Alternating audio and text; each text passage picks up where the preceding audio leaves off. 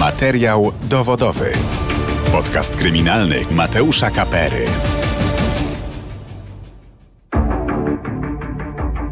Dzień dobry, zapraszam na kolejny odcinek podcastu kryminalnego Radia Z, materiał dowodowy, a w nim tajemnicza, a wręcz absurdalna historia zaginięcia dziś już 28-letniego Sebastiana Sierpińskiego. Rodzina młodego mężczyzny czeka na jakąkolwiek wiadomość od niego już od prawie dwóch lat. Trudno jednak powiedzieć, co stało się z Sebastianem.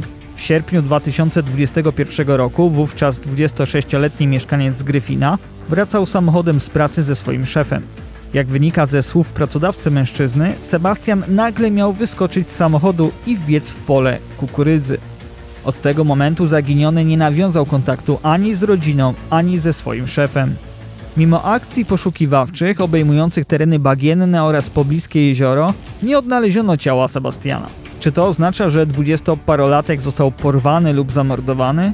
Dlaczego szef Sebastiana nie powiadomił policji ani rodziców chłopaka o jego zaginięciu? Czy coś wspólnego ze sprawą ma partner koleżanki Sebastiana, który brutalnie pobił zaginionego? Udało mi się porozmawiać z rodzicami Sebastiana Sierpińskiego, którzy mieszkają w Norwegii. Wraz z nimi próbuję poszukać odpowiedzi na te pytania. Zanim przejdziemy do materiału o tej sprawie, przypomnę tylko, że wszystkie odcinki podcastu dostępne są na kanale Radia Z w serwisie YouTube i na player radioz.pl, a także na platformach streamingowych Spotify, Apple Podcast i Google Podcast. Oceniajcie, komentujcie i zgłaszajcie nam sprawy, o których chcielibyście usłyszeć w kolejnych odcinkach.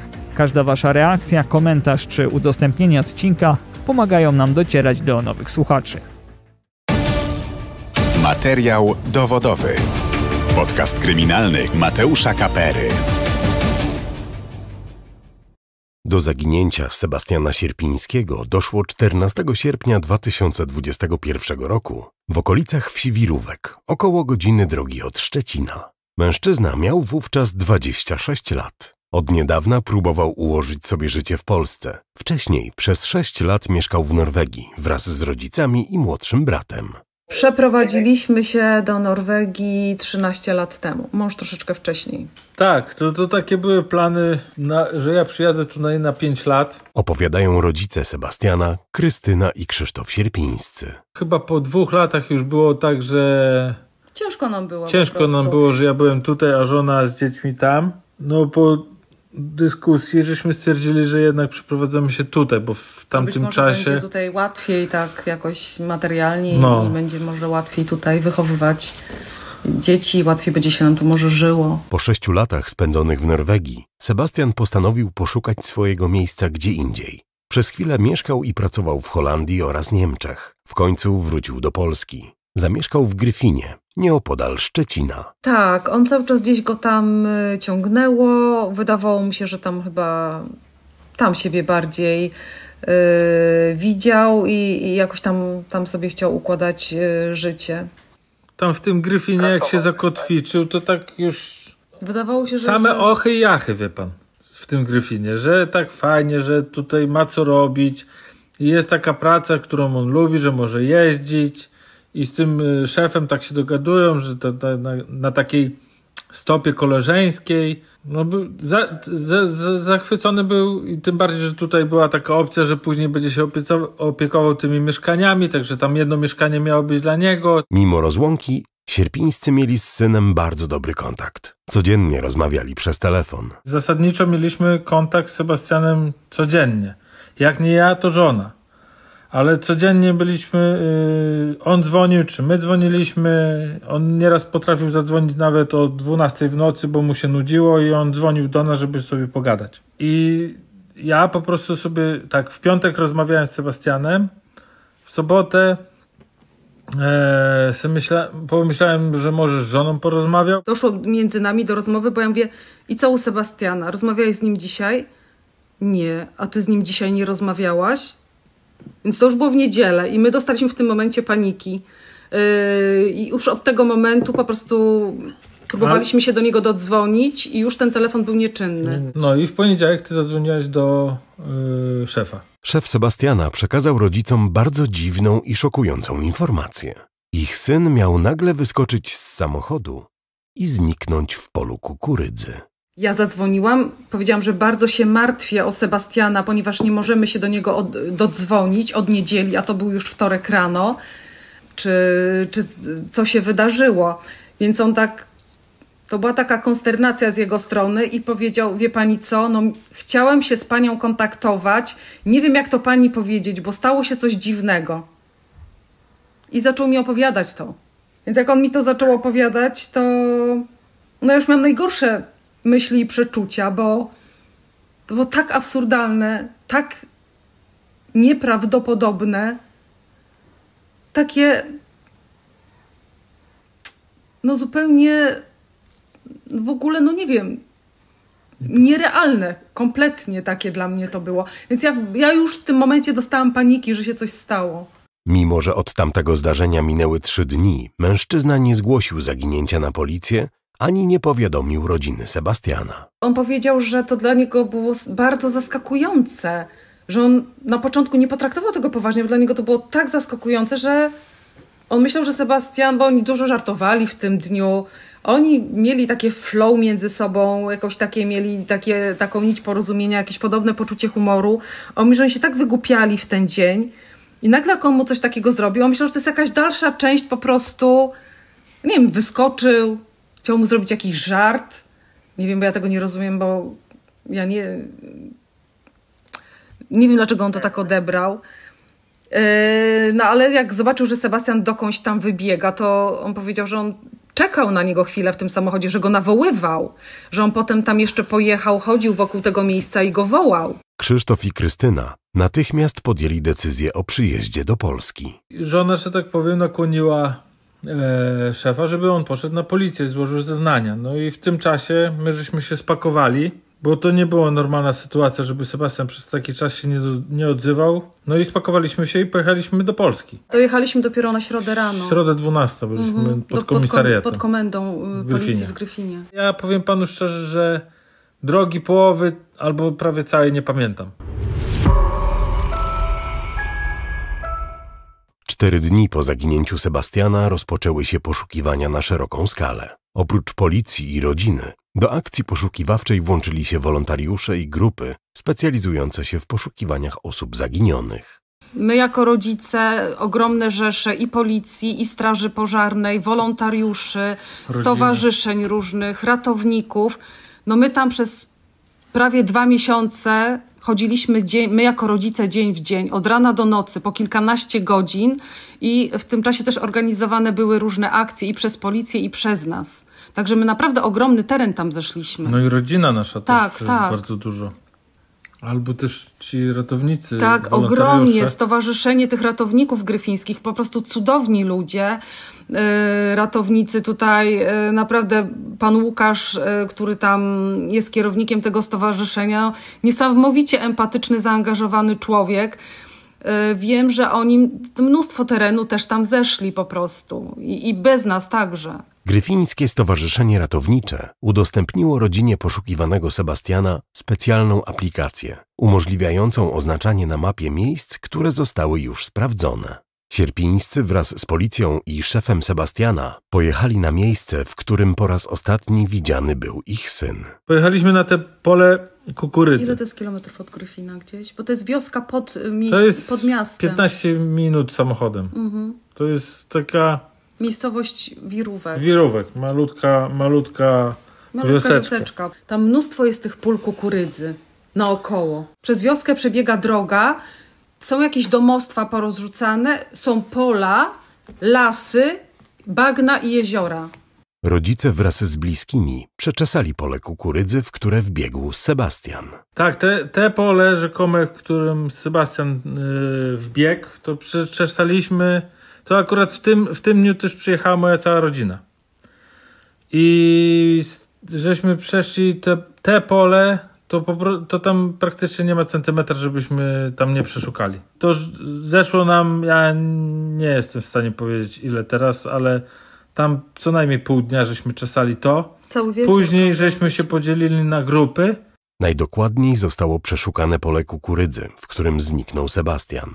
Sąsiednie pola zostały sprawdzone przy użyciu m.in. drona. Te wszystkie pola zostały przeczesane, że tak powiem, dronami na podczerwień. Tak, tam były drony. Mhm. Było mnóstwo psów, były zwykłe psy, później po jakimś czasie były psy na zwłoki, gdzie chodziły też w wielu miejscach. Po jakimś czasie, e, to podejrzewam, że nas już wtedy nie było, bo to było po dwóch miesiącach, co Mhm. były te psy na molekuły. Tak, policja sprowadziła psy z, Z Niemiec, Niemiec. jedyne w Europie, tak. Policja wykorzystuje do poszukiwania osób zaginionych specjalnie wytresowane psy. Podążają one za indywidualnym zapachem człowieka.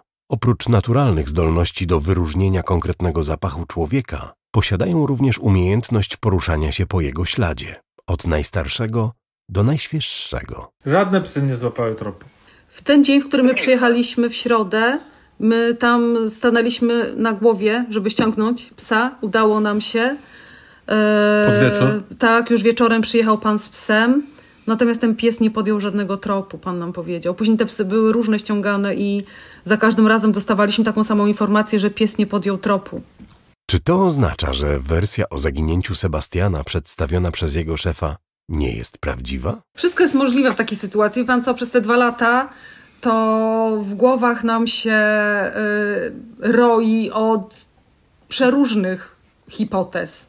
I to, co nam się wydaje jednego dnia prawdopodobne, drugiego jeszcze bardziej prawdopodobne, a trzeciego zupełnie nieprawdopodobne. Nie tak naprawdę niczego nie można wykluczyć i teoretycznie też nie ma się czego przyczepić, bo z jednej strony teoretycznie jest to możliwe, że psy nie zawsze podejmują trop, a z drugiej strony to też daje do myślenia, że tam było tyle psów Tyle psów i nie i pod... żaden nie podjął tropu.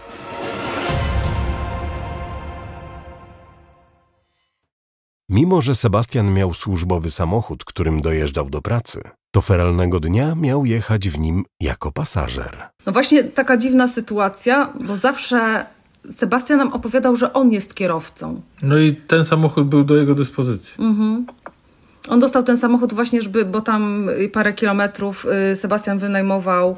y, On tam on mieszkał w Gryfinie, a dojeżdżał tutaj właśnie do Wirówka do pracy i dostał takie auto, którym mógł y, tam dojeżdżać się, pos- posługiwać się tym autem. A tutaj opis tak jakby tego feralnego dnia jest taki, że właśnie, że to on go ma, miał odwozić do domu. Nie rozumiemy dlaczego i on nam tego nie potrafi wytłumaczyć. Że szef Sebastiana Tak. odwoził do domu. Bo zawsze to było tak, że Sebastian odwoził yy, go, brał samochód i jechał do siebie. A tutaj nagle jest taka sytuacja, że on miał odwieźć Sebastiana do domu. I on zaczął się w trakcie dziwnie zachowywać, więc to on nie ujechał daleko, on odjechał z pół kilometra. Dlaczego Sebastian nagle miałby wyskoczyć z samochodu i wbiec w pole kukurydzy? Niedługo przed zdarzeniem zadzwonił do swojej dziewczyny, uprzedzając ją o powrocie do domu. Sebastian miał również wideorozmowę ze swoim kolegą. Rozmawiał też z kolegą na wideo, że jadę do domu, słuchaj, podłączę się i, i z tobą poroz- i porozmawiamy. I kolega jest pewien, że to Sebastian był kierowcą. A co na to szef Sebastiana? To on tu twierdzi, że oni się przesiedli. Mimo wielu wątpliwości, policja uznała, że relacja szefa Sebastiana odnośnie zniknięcia mężczyzny jest wiarygodna. Były rozmowy, wiemy, że, że były rozmowy y, policji tutaj z nimi. Nikt nam nie przekazał żadnych informacji, że tam są jakieś podejrzenia w stosunku do tego pana. W polu kukurydzy nie znaleziono również żadnych rzeczy należących do Sebastiana. Tak jak Sebastian, z tego co szef powiedział, był w klapkach, w, w podkoszulce na krótkich rękach Mhm. i w Krótkich krótkich spodenkach. spodenkach i w kapeluszu słomkowym. I on wybiegł w to pole kukurydzy i nie zgubił klapka, Telefonu. nie zgubił telefonu, bo Ci- telefon wziął ze sobą. W kieszeni jakiś tam klucza od mieszkania. Nie zgubił kapelusza, gdzie my żeśmy twarze za- zasłaniali idą, idąc przez tą kukurydzę. To, to jest po prostu, wie pan, wielki znak zapytania. Dopiero miesiąc po zniknięciu Sebastiana, nieopodal pola kukurydzy, odnaleziono słomkowy kapelusz. Nie ma jednak pewności, że należy do zaginionego mężczyzny. Nie mamy takiej Mm, pewności. Nikt tego nie potwierdził. Policja powiedziała, że y, jest to niejednoznaczne.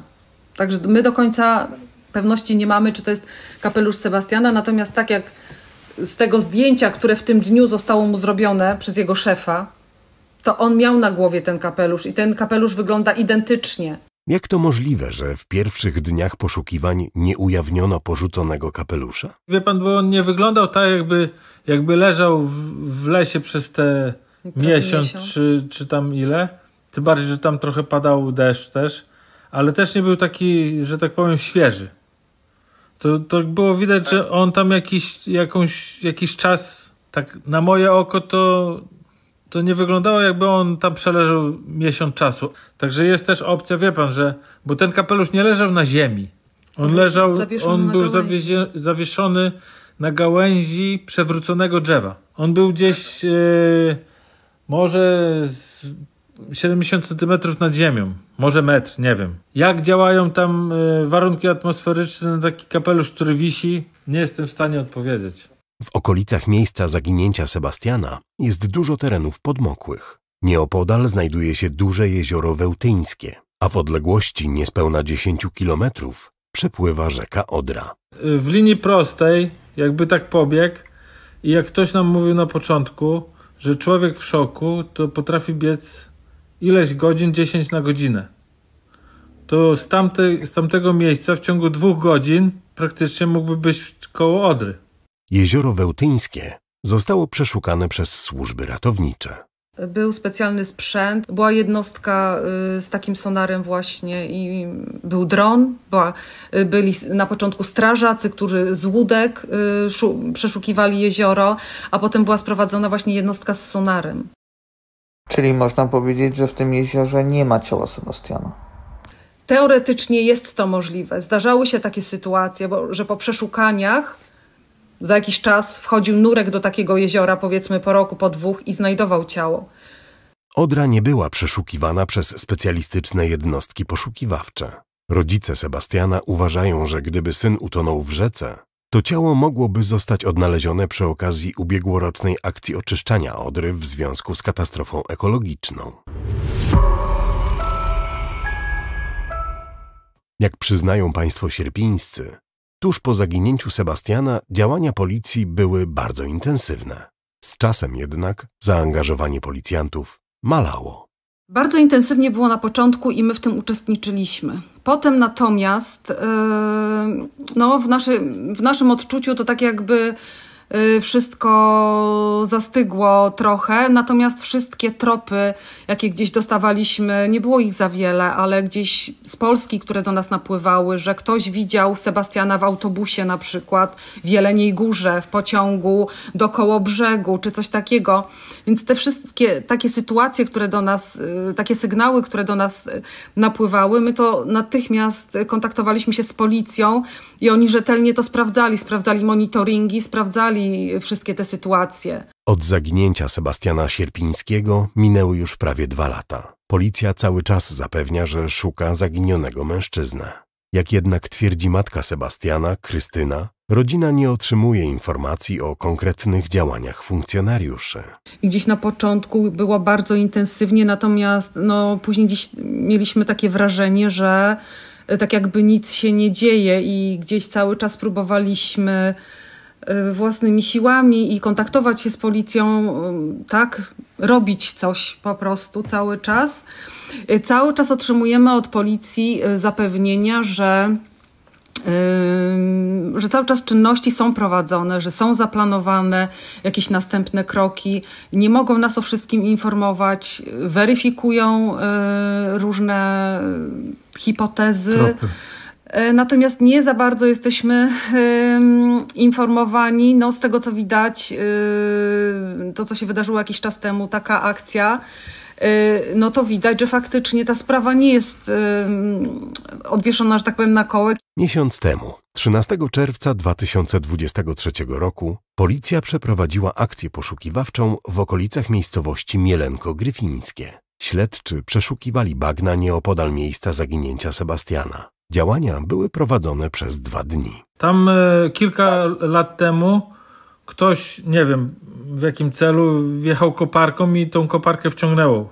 Takie żeśmy dostali. E, Tam są ogromne mokradła. Tak, Mhm. tam jest, no, no takie ogromne, nie No jest. taki dosyć duży obszar. Dosyć no duży i, obszar, ale- I takie be- nie- niebezpieczne, no takie bardzo, no, skoro koparkę tam wciągnęło, więc... Rodzice Sebastiana o akcji poszukiwawczej dowiedzieli się dopiero z mediów. Policja nie poinformowała rodziny zaginionego o planowanych działaniach. Jak się okazuje, to nie była pierwsza taka sytuacja. To takie dla nas był taki duży szok.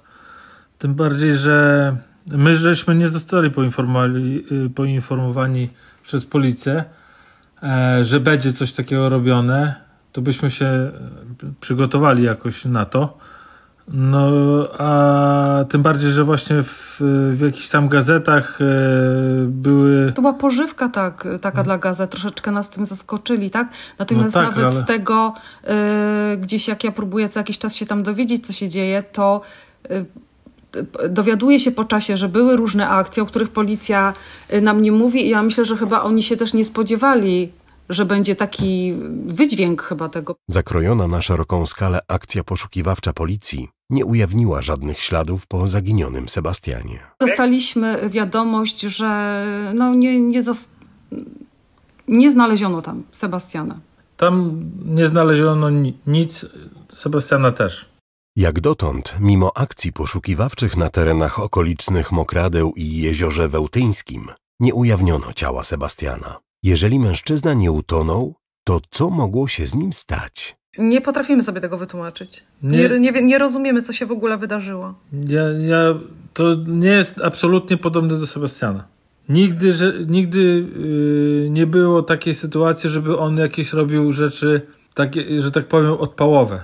Coś niespodziewanego, coś dziwnego, że takie niezgodne tak z jego charakterem. To jeżeli taki mamy opis sytuacji, to, No to było przerażające to- dla nas. To jest przerażające i nie rozumiemy, co się stało. Według rodziców, Sebastian nie miał żadnych poważnych problemów. Po przeprowadzce do Polski zaczął układać sobie życie. Był zadowolony z nowej pracy. On był zachwycony, że on jest, że jemu, się, że jemu się układa, że jemu się tam podoba, że on miał plany, bo on miał we wtorek jechać ze swoją dziewczyną nad morze. Więc on nie, nie było nic takiego, żeby on nam powiedział, że on się o coś obawia. Dwa miesiące przed zniknięciem doszło do bójki między Sebastianem a partnerem jego koleżanki. Sierpińscy wykluczają jednak, że mężczyzna, który pobił ich syna, ma coś wspólnego z zaginięciem Sebastiana. To była jego koleżanka, do której gdzieś tam doszło do bójki. Nie wiem nic na temat taki bliższy. Yy, nic Sebastian nie mówił, że to była jakaś bliższa znajomość. No nie łączymy tego raczej. my raczej nie łączymy tego. To by było bardzo absurdalne. Nie To pasowałoby nie też do tego opisu chyba, do który opisu. tutaj dostaliśmy, tak? Co się Wie wydarzyło. pan, jadą sobie samochodem, on wyskakuje, a ktoś na niego czeka akurat w tym miejscu. To, to nieprawdopodobne jest. Śledczy również wykluczyli, żeby mężczyzna, który pobił Sebastiana, mógł mieć coś wspólnego z jego zaginięciem. Sierpińscy nie wykluczają jednak, że pobicie mogło mieć wpływ na zniknięcie ich syna. Sebastian był mocno pokiereszowany. Otrzymał sporo uderzeń w głowę. On nam, nam to tak wybielał, wie pan, że to się nic nie stało. My się żeśmy dowiedzieli, że to pobicie miało, e, było takie mocne dopiero jak żeśmy przyjechali. I Sebastian też na jakiejś wideo rozmowie opowiadał, że mu chyba ta kość Policzkowa, policzkowa wiem, się rusza. Że on jak ją dotyka, to, to go bardzo boli. Bo jeżeli faktycznie wybiegł w tą ku- pole kukurydzy, no to jest opcja, że stracił w takim szoku, że mógł stracić pamięć. Czy... Nie wiem, czy my sobie nie wmawiamy wiem. już takie rzeczy, Czy my sobie ale wmawiamy może takie rzeczy? czy chcemy w to wierzyć? Rodzice wykluczyli również miłosny powód zaginięcia syna. Chłopak od niedawna zaczął spotykać się z nową dziewczyną. Był w niej zakochany. Z wzajemnością. Oni się znali niby od y, dłuższego czasu i się ze sobą, że tak powiem, kolegowali, natomiast jako para to, to było bardzo świeże. No bardzo ona to przeżywała razem z nami, jeździła na te wszystkie poszły. Ona tak samo y, była zaskoczona i y, tam nie było żadnej kłótni. Oni byli ze sobą w kontakcie. On 20 minut przed tym zdarzeniem, które zostało opisane, dzwonił do niej i powiedział, że y, przyjedzie do domu, podłączy telefon i, i że do niej zadzwoni. Sebastian nie miał także żadnych wrogów. Był otwartym i przyjaźnie nastawionym człowiekiem.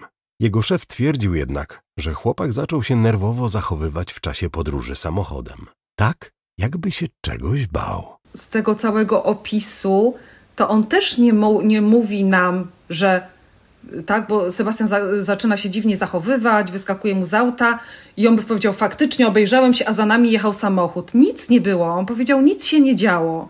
No. Nikogo nie było. Byliśmy sami na drodze. Bo z tego, z tego co yy, szef mówi, no to Sebastian zaczął się zachowywać dziwnie i że go namierzyli, czy go śledzą, już nie pamiętam dokładnie, że go namierzyli i zaczął się dziwnie, zaczął się obracać za siebie.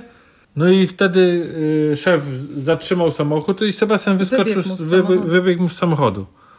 Może i on to podciągnął pod jakiś żart, nie wiem, bo on się porozglądał, no to on wyszedł z samochodu, nikogo nie zobaczył, żeby ktoś ich śledził, tym bardziej, że ma lusterkę, no to też by widział, że ktoś ich śledzi. Sierpińscy ogłosili nagrodę za informacje dotyczące zaginionego. Informator może liczyć na 20 tysięcy złotych. Jak dotąd nikt nie miał prawdziwych i przydatnych informacji o miejscu pobytu syna Sierpińskich.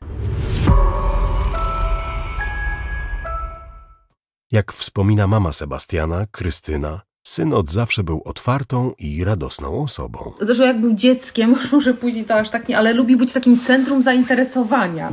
Y, Taki po prostu gaduła, y, ale nie, że, że, że papla taka, tylko po prostu taki, no, bardzo towarzyski chłopak, no, taki, który lubi jak się coś dzieje, jak są ludzie dookoła. Tak, od dzieciaka na Tak. krzesło i wierszyk mówił. Nawet jest taki filmik, jak on jest taki malutki właśnie, ma niecałe dwa latka. Tak. Jest jakieś przyjęcie rodzinne, chyba nawet w związku z chrzcinami y, młodszego syna, gdzie my jesteśmy trochę zajęci, tak i w pewnym momencie y, on coś tak chodzi, ja to do filmiku dopiero później zobaczyłam, że on mnie gdzieś tak cały czas mamusia, mamusia i w pewnym momencie wszedł na krzesło i ja teraz mówię. I był wierszyk, wszyscy musieli zwrócić uwagę na niego, że on właśnie teraz chciał powiedzieć wierszyk. Rodzice Sebastiana cały czas wierzą, że ich syn się odnajdzie. Mają nadzieję, że nagłaśnianie tej sprawy pomoże w odnalezieniu Sebastiana. Nic nie przemawia za tym, że Sebastian, że go już nie ma. Nic nie mamy na to dowodu, więc trzymamy się tego, że, że gdzieś tam jest. Chociaż na to też nie mamy żadnych dowodów. Natomiast to nam pozwala codziennie wstawać i funkcjonować. Jakoś nie wiem, wydaje nam się, że być może wtedy, kiedy będziemy na ten temat y, rozmawiać i mówić o tym, że to jakoś uwrażliwi ludzi, że to Nagłaś- ludzie będą o tym pamiętać, zwłaszcza tam z tego regionu, może sobie coś y, przypomną. y, Może, no nie wiem, różne nam przychodzą y, do głowy pomysły, że ktoś na przykład pomyśli sobie, że w tym dniu może widział na przykład, nie wiem, łódkę dryfującą gdzieś. I na przykład ściągnął ją z jeziora i nikomu o tym nie powiedział. Albo coś przypomni sobie, że widział może jakiegoś chłopaka, bo tam wszyscy ludzie się znają, to są małe takie miejscowości, tak? Którego wcześniej na przykład nie widział yy, w tym, w okolicy. Krystyna i Krzysztof przyznają, że niepewność i ciągłe oczekiwanie na wiadomość o zaginionym synu wykańczają ich psychicznie. Nie da się y, y, cały czas funkcjonować na takich stuprocentowych obrotach, tak jak my to robiliśmy przez pierwsze miesiące, że ja y, nie byłam w stanie spać ani jeść, bo ja sobie wyobrażałam, że w tym czasie mój Sebastian może jest w jakimś miejscu i on nie ma co jeść i nie ma gdzie spać. Przychodzą dni, kiedy po prostu, ja nie wiem, jakaś taka nadzieja wstępuje, że, że to musi się wszystko dobrze skończyć. Nie ma żadnych dowodów na to, które by wskazywały, że go już nie ma. Więc jeżeli nie ma ta, takich dowodów, więc możemy cały czas mieć nadzieję, tak? Natomiast przychodzą, wiadomo, takie dni, że no, człowiek ma dość wszystkiego i em, I chciałby w tym momencie dostać jakąkolwiek Tak. informację. tak. Tego momentu, gdy Sebastian zaginął, nie mamy zasadniczo żadnej informacji, ani dodatniej, ani kompletnie. ujemnej. Także tutaj nie, nie ma w którą stronę, że tak powiem, w którą stronę iść, żadnych sznurków, żeby jak, jak je pociągnąć. To, to jest najgorsze właśnie, że my my mamy w głowach tylko to, co nas, nasz mózg potrafi narysować, aczkolwiek to nie, nieraz jest po prostu tak, tak y, dołujące i negatywne, że człowiek już Nie nie, nie, potrafi tego. wytrzymać tego. Sierpińscy są bardzo wdzięczni rodzinie i wszystkim ludziom, którzy pomagają w poszukiwaniach ich zaginionego syna. Strasznie chcielibyśmy im podziękować. My już to mówiliśmy, ale no my jesteśmy bardzo wdzięczni. Kuzynka y, męża pojechali do pewnej y, drukarni w Szczecinie, a właścicielem jest pan Krzysztof Rykała i bardzo jesteśmy wdzięczni. To jest zupełnie obcy człowiek który po prostu gdzieś po usłyszeniu takiej historii, że my szukamy y, naszego dziecka, on jak się dowiedział, jaka jest sytuacja, on za darmo nam wydrukował mnóstwo plakatów, które my rozwieszaliśmy tam po całym tym regionie. I w ogóle y, ludzie, którzy przyjeżdżali, bo już nie wspomnę, że, że nasza rodzina, przyjaciele Sebastiana, znajomi Sebastiana, ale też ludzie, których my w ogóle y, nie znaliśmy. Zupełnie obcy ludzie, wolontariusze, mm. którzy się dowiedzieli, że jest taka sytuacja, po prostu przyjeżdżali na ogłoszenia, które dawaliśmy na Facebooku, że organizujemy akcję poszukiwawczą. Rodzice Sebastiana mają tylko jedno życzenie: żeby ich syn wrócił do domu, cały i zdrowy. To jest rzecz, o której my marzymy. To jest, ym, to jest jedyne nasze życzenie, tak naprawdę. Nam niczego więcej do szczęścia nie trzeba w tym momencie. To jest coś. To jest coś, czego sobie życzymy. To jest, to jest spełnienie naszych marzeń. Tak, jedyna rzecz, którą, którą, którą byśmy e, sobie życzyli.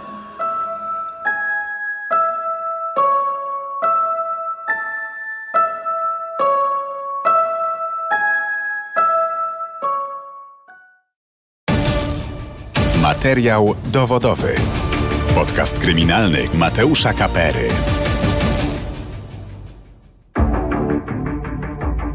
Sebastian Sierpiński w dzień zaginięcia był ubrany w czarną koszulkę i krótkie spodenki tego samego koloru. Miał także na głowie słomiany kapelusz. Mężczyzna jest szczupły, ma 185 cm wzrostu, włosy krótkie, ciemne, a oczy niebieskie. Wówczas 26-letni Sebastian zaginął 21 sierpnia 2021 roku w okolicach miejscowości Wirówek w województwie zachodniopomorskim. Wszelkie informacje dotyczące miejsca pobytu zaginionego można przekazać do Komendy Powiatowej Policji w Gryfinie pod numerem telefonu 47 78 23 511 lub pod numer alarmowy 112. W naszym programie to już wszystko. Ja się nazywam Mateusz Kapera. Dziękuję za uwagę i do usłyszenia w kolejnym odcinku podcastu. Materiał dowodowy. Wszystkie odcinki naszego podcastu kryminalnego znajdziesz na player radioz.pl i na najważniejszych platformach streamingowych.